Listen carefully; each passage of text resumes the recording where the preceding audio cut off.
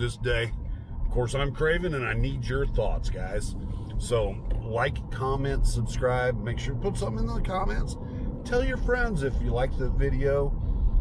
Uh, tell them so they can maybe gain some knowledge if there is a little kernel of something in here in, in my brain that may give you guys some help. Hey, so I was thinking, I'm on my way right now to uh, rabbit trail. I'm on my way right now to uh, help a friend out, uh, take care of some animals. And it's 24 miles to their place.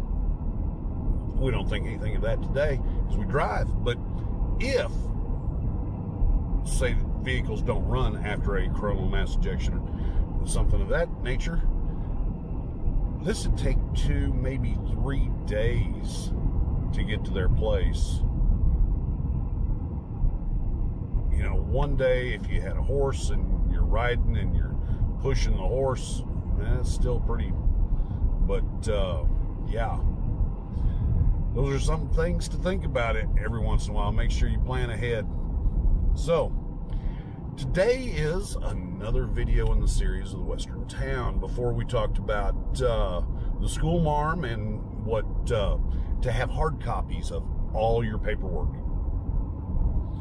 Uh, buy extra books, have reference books, books on uh, flora and fauna in your area, of the woods, uh, and other areas, actually, just in case you go someplace else. But, you know, know what foods are edible, know what foods are good for medicine, know, uh, but have those in a hard copy rather than digital format because you don't know that that digital format will be accessible a day later if everything freaking fries or uh, two years later after the motherboard finally burns out and you just can't get to it. But uh, so today we're going to talk about the builders. Two of the two of the main places in any western town would have been the livery stable and the blacksmith shop. Uh, blacksmiths, of course, back then put shoes on horses, did minor piddly things. But for us, we're going to need to know how to do a lot of metal work, things of that nature, because uh, literally, sometimes fixing our own stuff rather than going out and scavenging something that's out someplace else is a better choice. And hey, let me give you an example. If you have a regular scavenging crew that is part of your uh, part of your group, your uh, tribe, whatever you call your your people helping people, they go out to get high value items. Do you really want them to have to go out and get a hoe because you broke your last hoe and nobody can uh, work on work the crops and keep the keep the weeds at bay because you don't have a hoe? Do you want them carrying a hoe back from God only knows where they find one, or even worrying about looking for one? I mean, when they could be, you know, hitting all the animal shelters looking for medical supplies, hitting all the uh, pharmacies to see what wasn't looted and pick up anything good that's still there. You know, any of the medical clinics. You know, those are going to be a much higher value target for the time that your scavengers are out, and you want them going to the fewest number of places possible. Because the less exposure they have, the more likely they come home because that would be a high risk, high risk uh, job for any of your people. So, thought, let's learn how to build, uh, let's learn, learn how to do a forge, learn how to work metal.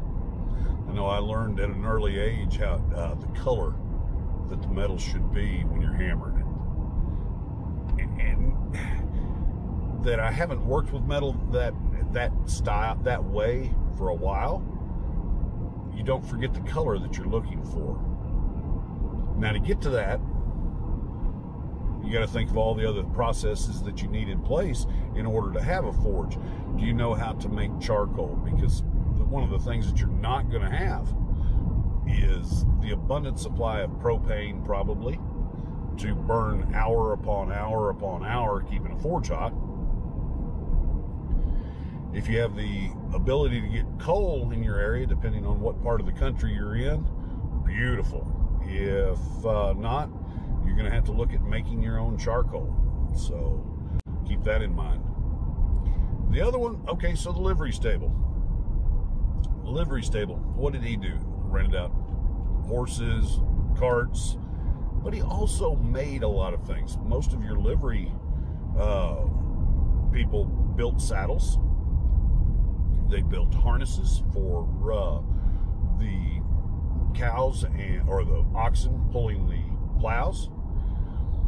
And so building harness was a big part of what a uh, liveryman would, was capable of doing. That could very well be something that we need to learn. Uh, when we go through all this, we will have a whole lot of leather products that we will be able to build, make things out of. It would be helpful to have somebody skilled in how to build a yoke for an oxen set, you know, a pair of oxen, or what kind of collar to use on a mule versus a horse. They are different, and you do want those collars fitting differently. And so, though some of our people that know animals, know horses, will know that right off, there's a lot of people that ride horses that have no idea how to hook up a wagon. Well, that's something we should put in our uh, to-do list, I guess. and so, yeah, the builders, those those are the two main people that I wanted to kind of talk about. Because we will it will be good to do a lot of our own stuff. And so a few little thoughts for you, some ideas on maybe some preps that you need to put back. Uh, maybe learn how to do a saddle stitch, learn how to uh, make a flexible harness. I know I've got a long way to go there. My saddle stitch does not look beautiful. I guess it works, but uh, it's it's not the prettiest thing in the world. So, uh, hey, I'm Kraven, and I need your thoughts. Let me have them, throw them my way. Let me uh, hit that comment, hit the comments, tap that out, and next few videos, when I get to the next set, I'll do a, another one just on the comments. But uh, like and con- like and subscribe as well. And uh, hey, guys, let your friends know. I hope this helped you some.